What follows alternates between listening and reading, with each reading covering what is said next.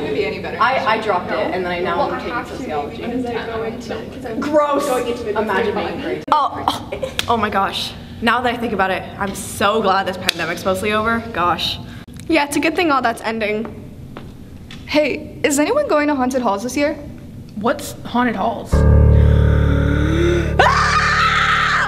You don't know what haunted halls is? No.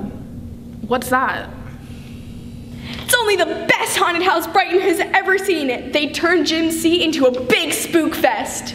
Well, how much does this wonderful haunted happening cost? $20? $40?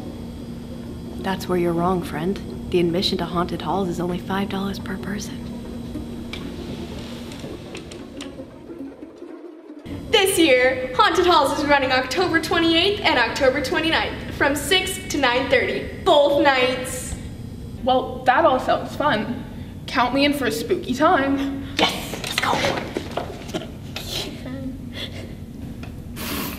Halloween's lame. Hey guys, you know what I hate? Pumpkins.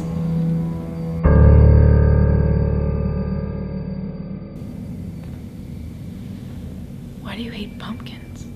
They are so ugly. We already have an orange food. They're called oranges. You know what my favorite 1990s band is? Smashing Pumpkins. I also hate pumpkin spice latte and pumpkin pie. More like pumpkin crap latte and pumpkin crap if you ask me. Wow, you seem to have a lot of unresolved issues with pumpkins. Anyway, let's go to the drama studio to rehearse our lines. Honestly, I don't even know what you're talking about with pumpkins. Yeah, like pumpkin pop? Yeah, exactly. That's what, they're my favorite spot. Enter!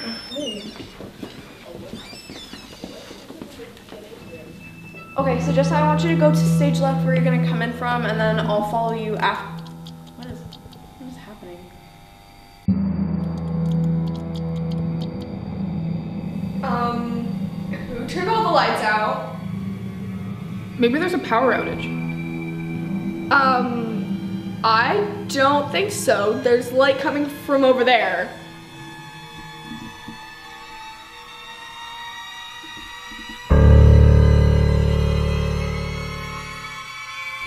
Oh, haha. It's probably Tria.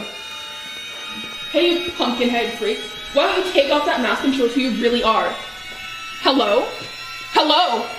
Ah!